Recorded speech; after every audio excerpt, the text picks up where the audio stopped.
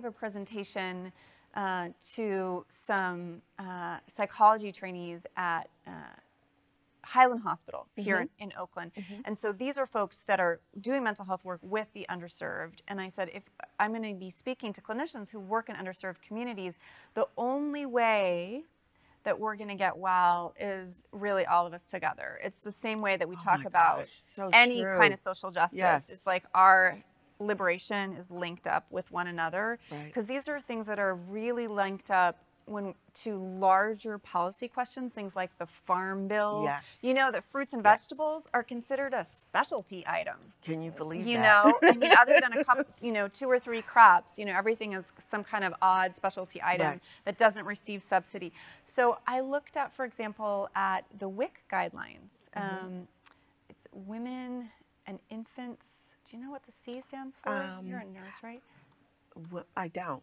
yeah, I don't know. So, but the WIC program is Mhm. support for women and infants, and it's giving uh, support for them to get food for um, for uh, people when they're pregnant and when they have a baby, right? Okay. So, some of the guidelines, for example, it says you can receive. Now, I'm not an expert on this program, so Okay. and it may have changed since I last looked online. But when I looked online, I saw things that confused me. Okay, things like you can receive white eggs but not brown eggs, and um, more concerning than that is Mhm. things like saying for these very tiny children, like under two, they were saying not to be able to get full fat milk, Right.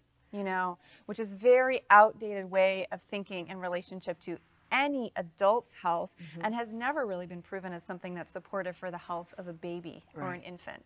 So we have these kinds of larger questions, Mm-hmm. right, about how we think about what is nourishing to a developing brain Right. um, and what is nourishing to a young person, and then how can we support that in terms of access. Mhm. So while we're on that topic, I'll just mention if we have viewers who have, for example, if you have uh, American born children who have access to food stamps and your family has access to using that, um, the farmers markets, many of the local farmers markets, and you can find this page on my website, which is centerforstressreduction.com.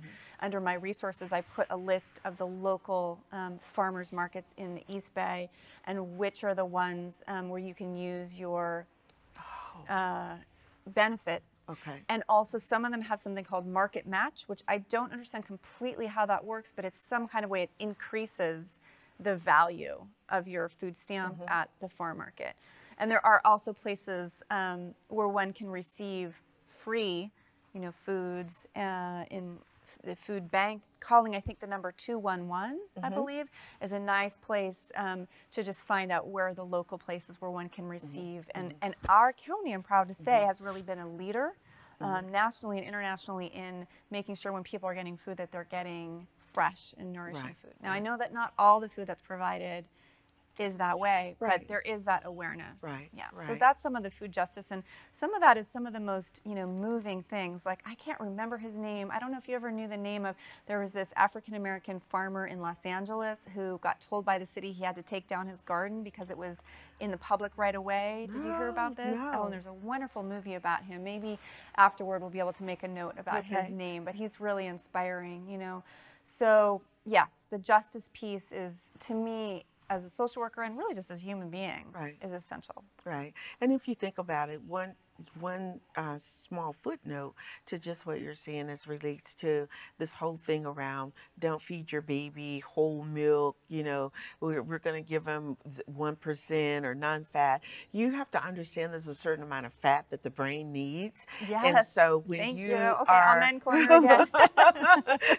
so, so we didn't practice that or rehearse it, but I just know that. And and the thing is, I tell people when you look back, I tell people I'm an OG, but you know what? People were healthier if you really think about it, and they were more active. But let me tell you, some whole milk, and I still drink whole milk to this day. So I I have to tell you, I don't do one percent, two percent, non-fat. I do whole milk Mhm. all day, every day, and that's just how it is. All day is so a there's long something time. to be That's- you give an There's something to be said. There you go. But uh, you're absolutely right.